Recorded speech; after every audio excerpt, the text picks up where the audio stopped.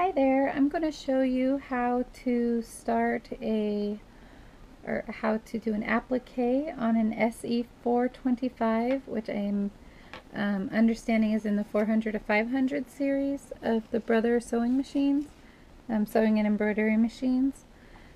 So I'm just going to show you real quick how I hoop my stabilizer. Sorry about that. So there's my stabilizer. And I'm just going to pin, my towel is a little too thick to go in the hoop. So I'm going to pin my hoop or my fabric to the hoop. I'll be right back. Okay, so the pins are all in and I'm just using water soluble stabilizer in the back and it's the Sulky brand. Um, I don't have any white um, stabilizer right now. So since I'm just doing a tutorial, I didn't think you guys would mind so much. But I would probably use a tearaway on the back. Um, and then we're going to use water soluble stabilizer on the top as well. But we're not going to do that until we get all of the fabric tacked down. So I'm going to go ahead and put this in the hoop and load the design.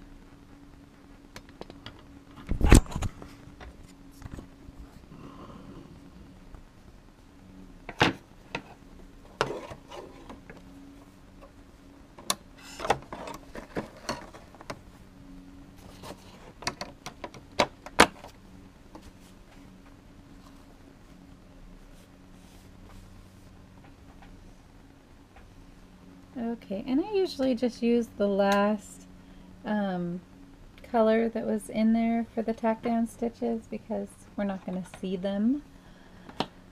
So today we're going to do an applique design from Planet Applique called Beach Bum.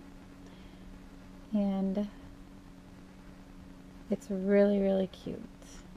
And we're going to put it on this little hand towel.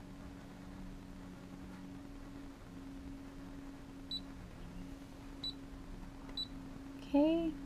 All right. So this is something I think that's kind of intimidating to a lot of people. Whenever they load an applique design, it comes with 20 thread changes and you're like, what? So a lot of things are tripled um, because it's an applique file. So you can go into your check color and see everything.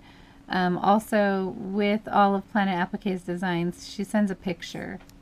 So I don't know how well this is going to show you. I don't know if it's a she either. I just assume. Um, so this is Beach Bum. This is what we're going to do. So we have a picture to work with, and she shows you what each color change is going to be. So in most of her designs, when they're black or red, they're going to be the tied or the the stitch, the, the die line, and then also the tack down stitch. Those are usually what's red and, um, oh yeah, back up here, sorry. What's usually red and black in her designs. Their designs. I apologize. Alright, so you're to see it's going to do the applique part first. So, oh no, it's not. Okay, so the first thing it's going to do on number one is going to be where it's going to do beach. And it's going to do that all in a satin stitch, but in a font that comes with the design. And then the second one is going to be the um, die line for the bee. It's going to show you where you need to put your um, applique material. And the applique material should be just regular cotton um, with the uh, Pellon um, iron-on. It, oh gosh, I can't even remember what it's called. I just have a basket full of stuff that's already has it attached to it, so I don't even think about what it's called anymore. I'm so sorry. Okay, so number three is going to be, once the fabric is there, it's going to be the tack down stitch. And then number four is going to be the, um, the pretty satin stitch and then it moves on to you and it's all the same thing so it looks like there's a lot of different changes but it's just because it's all takes steps to get everything through so let's put you back on the tripod and show you how I do this. I'm sorry my videos are so long. I'm still getting used to trying to figure out how to make them and make them go fast. So, okay, I'm going to go ahead and just do beach. And I usually don't put this soluble stabilizer down until it's doing satin stitches, but since this one is starting with a satin stitch, I'm just going to go put a strip down here. It's going to cover the whole entire thing.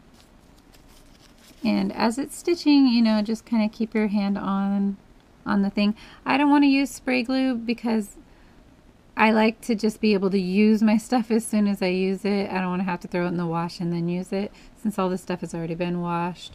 Um, and this stuff is so easy to peel off that you can just move on with your project. So that's what I really like to do. I'm going to go ahead and put this down. I was going to do it all in blue, but I think I'm going to get a variegated variegated thread just to make it pretty. If you haven't been over to Planet Applique's website yet, you really should. It's one of my very, very, very favorites.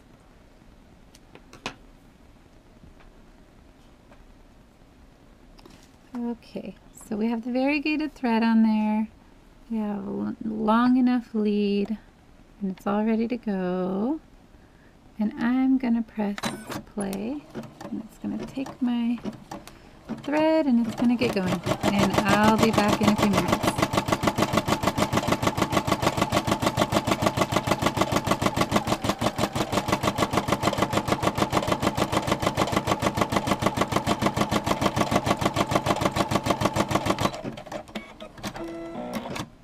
Mm.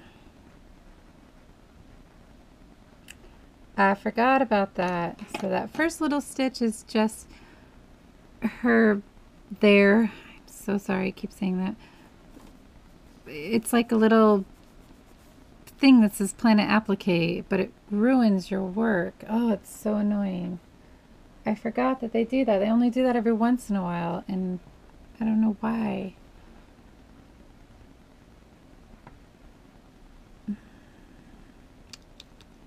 Alright, well, since this is just a tutorial, please ignore that. So I'm going to go to adjust and move on to the next one. It's going to show me where to put my B for beach bum.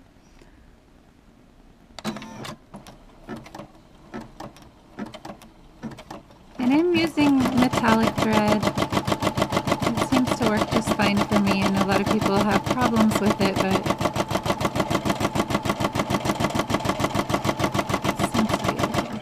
Okay. So there's my B. I want my B, I want this whole thing to be a kind of teal color. I don't know why. Just do. I've already done one applique today, but it was red and white and blue, and it was really pretty, and probably would go good with this design, but I think I'm gonna like this. Okay. Okay, so that's cool.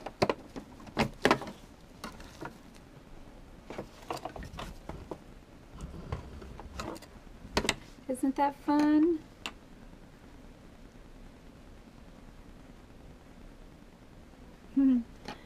okay, so hopefully you can see down here.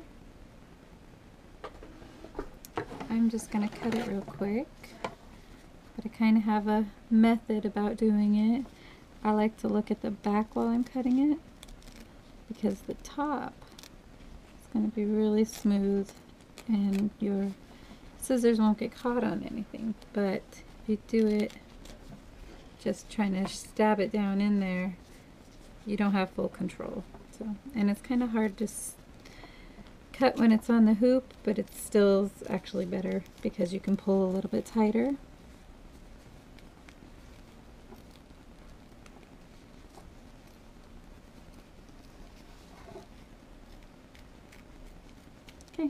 It doesn't have to be perfect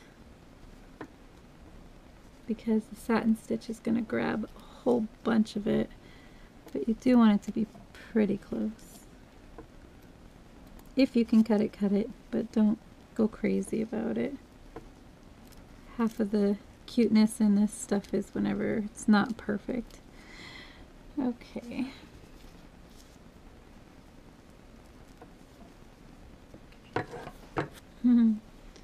Sometimes it's hard to get little ones, but once you get used to doing it, you'll know where the satin stitch will cover and what's probably still going to stick out, and then you can decide if you want to fight with it, but uh, I generally don't seem to have too much of an issue. And I'm not going to cut out the middles because, again, the satin stitch is going to be so fat, it's going to fill it in anyways.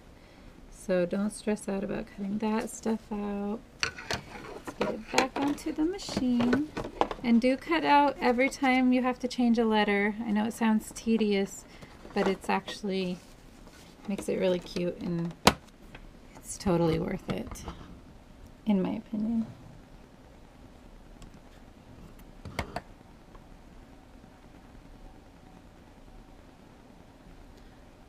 Okay. And now it's going to do a pretty satin stitch around our bee.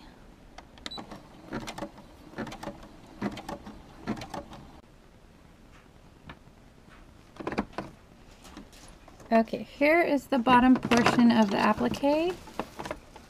And I did it all in metallic thread just because I love it. It's so pretty.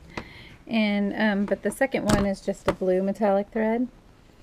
And let's try to get a better look at it. Maybe from that direction.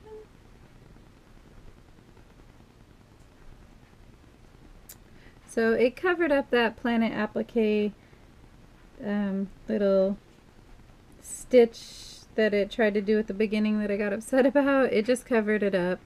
Um, it's in the middle of the U, so it's totally awesome.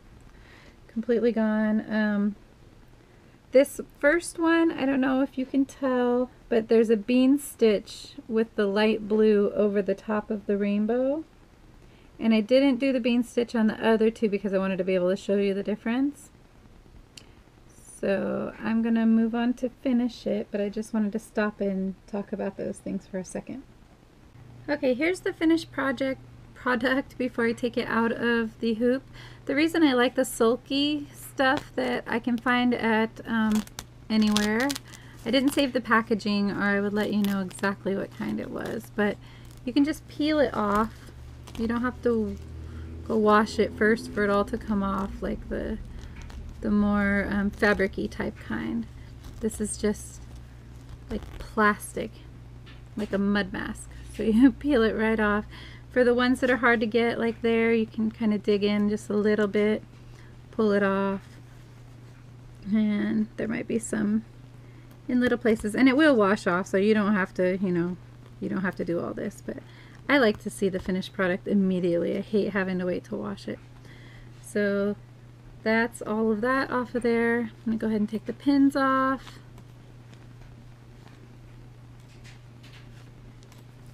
Put those over here. And I can just rip this right off as well. Bum! Beach bum. All done.